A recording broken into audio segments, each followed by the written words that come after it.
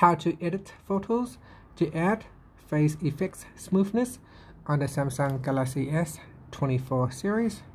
First, let's go back to the home screen by tapping on the home button at the bottom of the screen.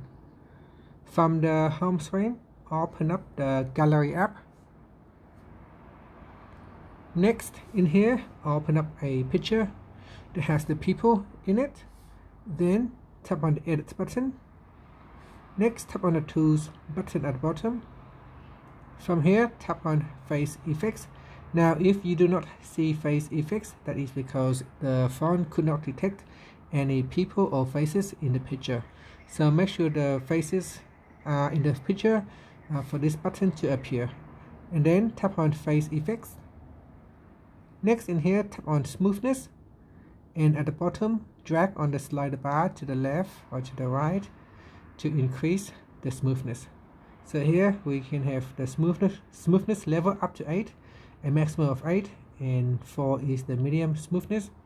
And as you increase all the way to the 8, you will notice it will add additional uh, smoothness uh, on the face.